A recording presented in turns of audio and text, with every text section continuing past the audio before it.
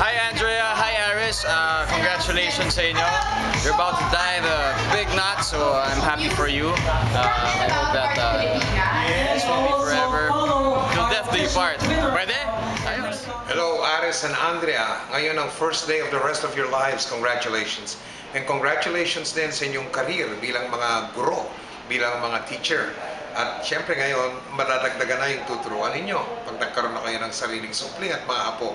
At sana ay ah, maging maganda at masagana at masaya ang inyong pagsasama forever and ever till death will you part.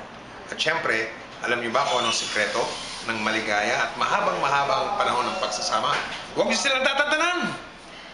Aris, Andrea, uh, congratulations on your wedding. Sana maging masaya kayo. Kasi ikaw, Aris, niloko mo ako eh. Niloko mo ako! The joke lang. Congratulations! Congratulations, Andrea and Aris. Ah, alam mo namang idol na idol kita, Aris. Lalo na sa pagkanta. Ah, ah, sana ay ah, magtagal ang inyong pagsasama. Sana ay umpisa pa lang ito ng ah, panghabang buhay niyo. Pagiging magkapiling. Kahit man lang mga ilang years, sana magtagal kayo. Happy na ako. Joke lang.